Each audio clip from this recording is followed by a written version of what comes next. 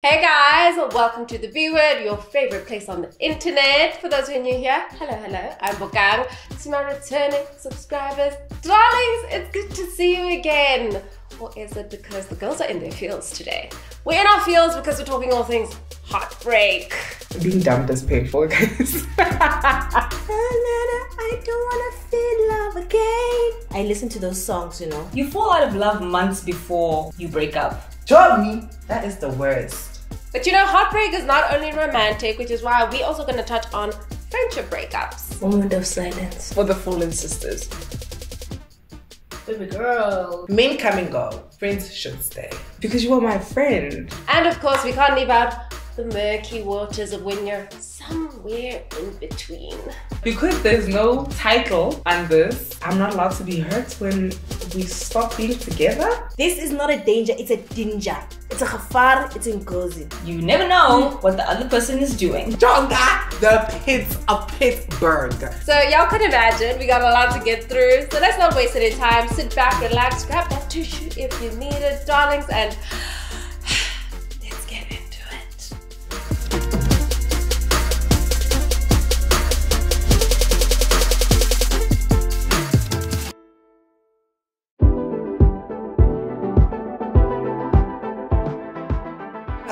I have.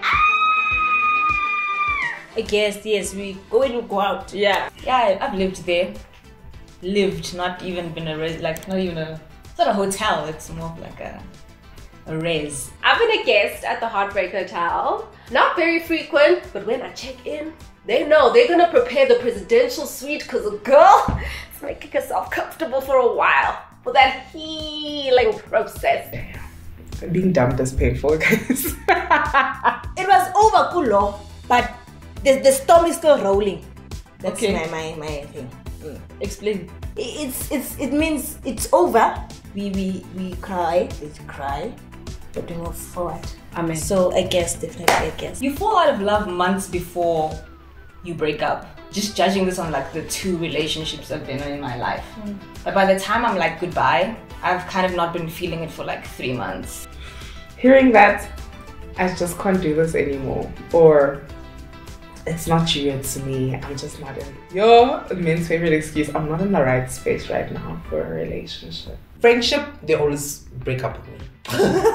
Friendship is like, oh, God, I can't stand you. If all your friends break up with you, you must know that there's a problem. So there is a problem. So that's why you just remove yourself. I think what always just shocks me about heartbreak is just how all consuming it is and like how much power and effect a person and the relationship with a person can have on you. It's like wild. I'm like, whoa!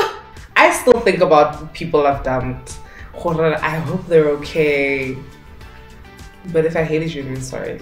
I probably dumped you painfully on purpose. I think I have a very low tolerance for tolerating Yo. relationships Yo. that I don't have to subject myself Yeah. to, particularly because in the past, that's what I did. Mm. I tolerated people and I Suffered. muted myself mm-hmm. so that I was more palatable to those mm. around me. Mm. But now in my adulthood, I am a lot more chop chop chopful. Just I am such a loving person. So when things just don't break through and they break up, it's just I hate it because I always want to fix it, but like sometimes when people don't want anything to do with you, listen to them.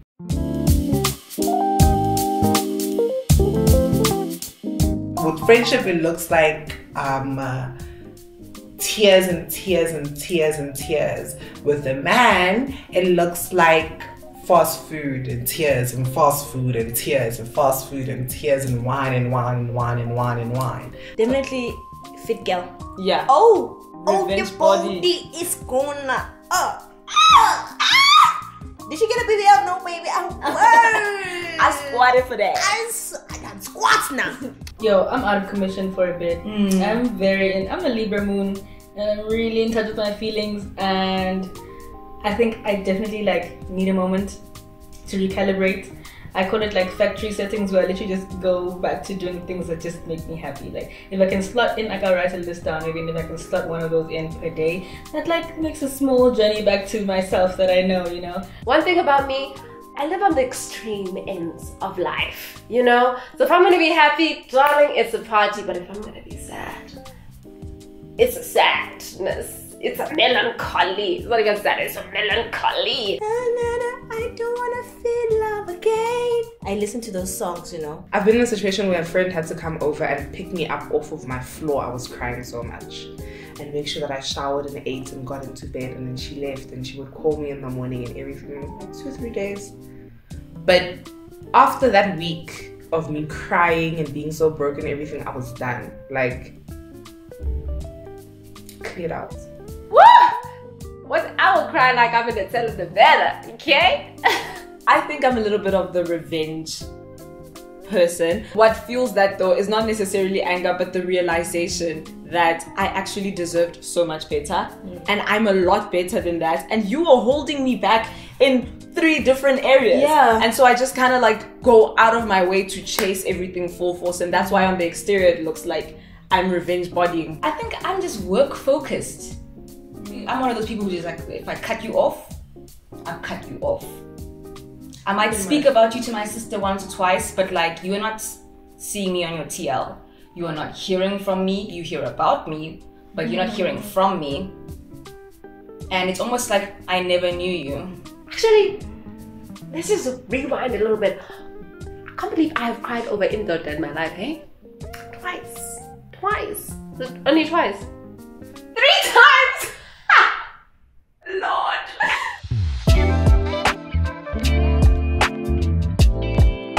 You know what? Friendship breakups really hit different. I'm not gonna lie. Oh, guys, that is the most painful one. Men come and go. Friends should stay. Because you are my friend. It hurts so much more because you really trusted this person with the most vulnerable pieces of yourself. Moment of silence. For the fallen sisters.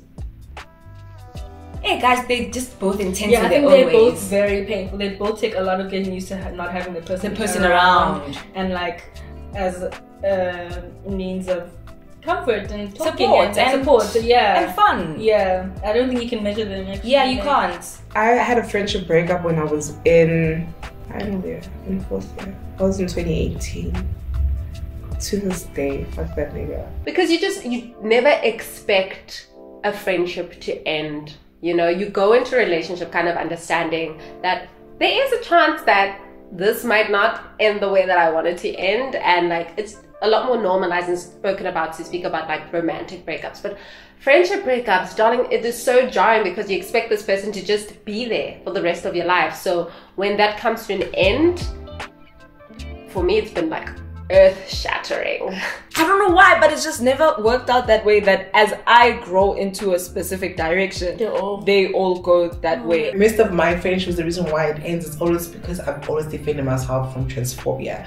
So my friends don't like the way I react to that kind of situation. They don't like how like why do I have to like scream at the top of my lungs. I'm like, dude, I mean hello, like that's my life. Like that's who I am. Like I wake up like this. Female friendships, when they break apart, sucks.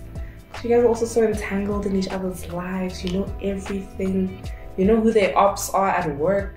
You know who their work husband is. You know this. You know that. It just feels like a bit of you has been ripped out because every friend for mm. me is adding some kind of value to my life. So now it's like, whoo, you just, you're just not there anymore.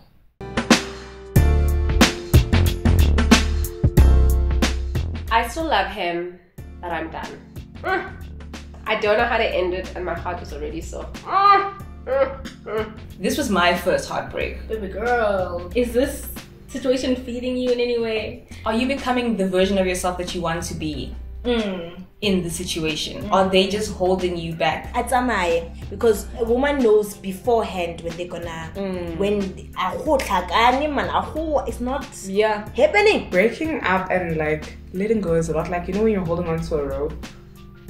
Holding it is doing more damage than letting go because you're getting rope burns, scarring you, it's rubbing off your skin. So rather it hurt for that moment of it sliding off your skin and then it's released and it's gone then instead of sitting in it and it hurting you long term, You're gonna be sad, but then you're gonna be happy one day. Mm. There's, a, there's a guaranteed happiness at the end. Mm. Staying in it and just being so and hurt and sad all the time, there's no like light at the end of the tunnel. For me, it's just a matter of it's unfair to keep this person in because you're indecisive. Yes, obviously you care about this person because you've built this bond and you've been together for a while. It's natural, but it's unfair for you to hold on to someone who can be better served elsewhere. You know that it needs to end. Sometimes You know that it things needs to are like- end. Be as clear as possible as you can be, but also just try to be as gentle and amicably. Do it as amicably as you can. Because nobody likes a nasty breakup, but sometimes it can't be helped. Good luck. How do you have closure? Ooh, I don't believe in closure. Chats after a break, uh, after a friendship breakup. What? What closure are you gonna get if the first thing you guys couldn't do is communicate? The closure chat should be the breakup. Last chat. Yeah. Yes. friendships aren't like relationships where it's first strike you're out. Friendships we give each other so many chances because we're friends and we want to have each other in each other's lives and so for it to get to a point where there has to be a breakup, like you need to know it's final. There's people who want closure, but I feel like closure just hurts you more. To be fair, now, some some people's kids really need to be rejected twice to really feel the rejection. So if yeah, it's a it's a real thing. So if you need the closure chat, I would say do it at a neutral location. Sometimes the closure that you're looking for, you're not going to be able to get it. If the person is open and receptive and like available to have that conversation, I think it's worth just reaching out and being like, hey, I'd really like to just chat and see where things went wrong. But a lot of the time, closure, you're just to have to get it within yourself. I can tell you from personal experience that I tried to have closure chats with someone, a friend who had broken up with, and in these closure chats, when they were talking, I was feeling for them in a way that made me reason for them on for like what they did to me. And I was like, oh, okay, it makes sense because this, this, this, this, this. And I gave them another chance and we tried again. It wasn't even two months and they reoffended. First of all, because I'm so heartless and I really don't care and I'm not gonna cry over you, I just kind of stand up, okay, and keep it moving. But if we had to have closure, I think for me, I would appreciate this person just coming up to me and saying, Hey, Chomi, can we chat for a little bit? You don't have to go into depth about why you left the friendship, but if there's something noteworthy that you feel like could help this person in their future relationships, definitely something that I would then bring up in the closure chat. Mm-hmm. But for the most part, just to officially on both sides recognize that this relationship is over. So I don't keep inviting you to my birthday party mm. when you don't want to be there because we haven't officially said it's done. if your actions might be the leading cause of the friendship to not be the same anymore, I didn't encourage like owning up to all of that stuff. and Yeah. Acknowledging what how you may have contributed to the friendship just not being functional or not working how it used to look Yeah. anymore. And then like possibly if you're sorry about it, apologizing for that so that the person doesn't just feel like, okay, it's done. Bye. Yeah, like, yeah. You you, Hear you your you're mending that part that Yeah. that they have a hole because of you. In the closure, it's important for everyone to take accountability, and if you can't, then you're just not mature enough to. You're just not mature enough. Is a rebound necessary after a breakup? No. I would say it's not necessary, but you can. No, guys, take some time to find yourself. Rebounds are messy, man. Don't you think they're messy? I think they're so messy. They're so necessary. Because sometimes you then rebound with something worse. That's gonna catch up. I just you. don't want to do that and end up crying on the person's chest like Yeah, Issa. like Issa. like, and I'm so like it suits me. She so cried in his like, mouth. I'd, I'd rather just like keep stay in a comfortable place where I can act out how I need to, when I need to, not like this person is still here and I can't like cry into my pillow in the morning, you know? I think it depends on the relationship that you're leaving. Like, if it's one of those bite type of situations, I'd recommend rebounding because I mean, you still need to get your nuts, you still need to do your thing. But give yourself a break after like a long term relationship. You are rebounding with somebody else's child who is a person with feelings and emotions too. Okay, if you're gonna make someone a rebound, at least let them know that like you're only here to cure me, babe. Long story short, is a rebound necessary? It's not necessary, but it's an option. Yeah. As Yeah, long as, yeah. again, you're not running away from anything. Don't use a rebound as an excuse. Face what you need to face head on and then move on however you see fit. Was best friends with this other girlie and we went to varsity before me or she went to varsity before me Oh. and bestie switched up she was so different by the time i was in varsity i didn't fit in with her life at all I get that though. It happens. It happens. I'm not even gonna try and make a friend of the villain. yeah because they were in different life stages Yeah. I'm not condoning besties' behaviors, but like your first year varsity, like It's actually it's crazy. I've been on both sides of the coin where I have been the friend that went to varsity before my best friend, and then I've also been the friend that went to varsity or rather went to different varsity and we both changed so much that the lifestyles were no longer connecting. Varsity guys, let, let me tell you one thing about varsity. It will change you. Because in in high school you have a protected community, you have Yeah. a time zone, people are doing this at this this time, they're mm. forcing you to do your homework. They do in varsity the freedom is crazy. like Yeah. there's a lot going on. You, a lot. Like you maybe New environment, environment, new people, people. bigger classrooms, more people to talk to, different Workload, classes, workload, like social a lot of things that, that are happening, and She was there, you weren't there. So the changes that this person is experiencing the people that they're meeting, the outlooks that they're receiving, is completely different to what you're experiencing, you know? And it's irrational to not expect someone to grow and change in an environment like that. Change is inevitable and yeah, it's natural for us to adapt as we go through life.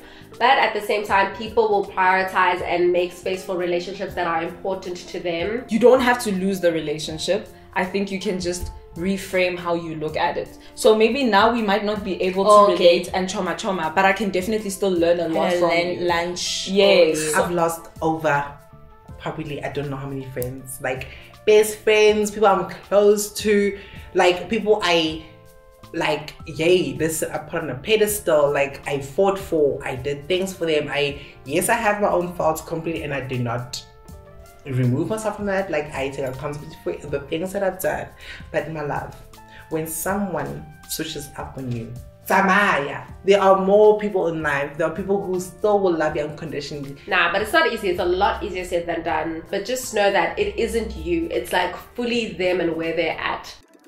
You know where the danger is. Breakups where you guys never actually dated.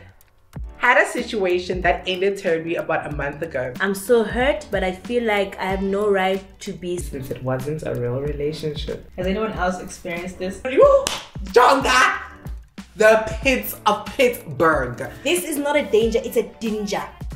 It's a gevaar, it's ngozi. I hate it when my friends say, no, I have no right to be angry because I'm not his girlfriend. Yes, you do. People in general will try not to label things so that they can evade accountability. Do you understand what I mean when I say you dig a hole for yourself when you are in love with someone who doesn't love you? But we're going on dates twice a month. When my car breaks down on the side of the highway, you're, you're speeding from work to come pick me up. You are making sure that I'm taken care of. When I'm sick, you're bringing me meds. When I'm. Join me. That is the worst.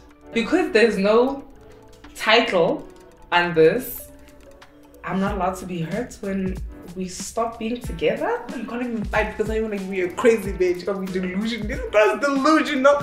But nigga, I love you.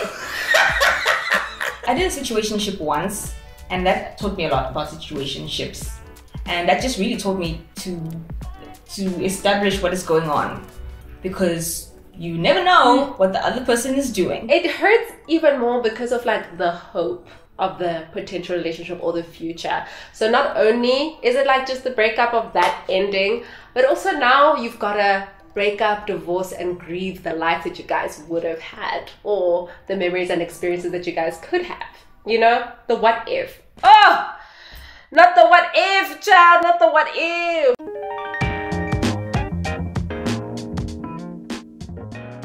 stand up Change your hair. Cut it, dye it, bleach it. Love yourself first. Just get better, get prettier, learn a new language, get better clothes. You know, just see this. Really speak, speak it out or write it out, express, take it, remove yourself from it. That's the root of knowing what's going to happen after the situation. It's okay to be sad. That's human emotion. I think that sometimes we're not very gracious with ourselves and feeling feelings. As much as you wonder, like, how the hell am I gonna get over this pain, you know? How?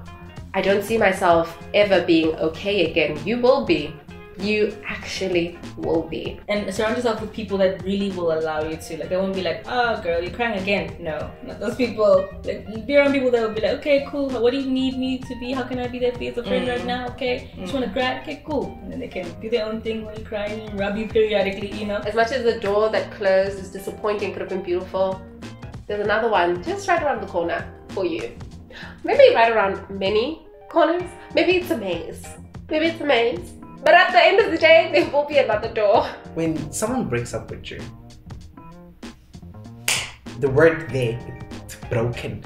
Let's say pieces are on the floor. When you put them together, are they the same? Is the mirror still clean? No. So that's why you need to love yourself so that when you look into those cracked mirrors, you do see yourself only.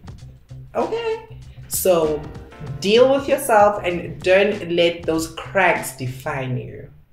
Okay. I love you all. ding, ding, ding. Guess what time it is? It's time to check out of the Heartbreak Hotel. Did we need that Kleenex? Did we not need them tissues? If we're crying, that's okay. If we're laughing, even better. I hope you guys enjoyed this video and made you feel a little bit better no matter which stage you are in your heartbreak journey. Thank you for rocking with the girls. Thank you for rocking with the viewers. And yeah, let's do it again next time, okay? Peace.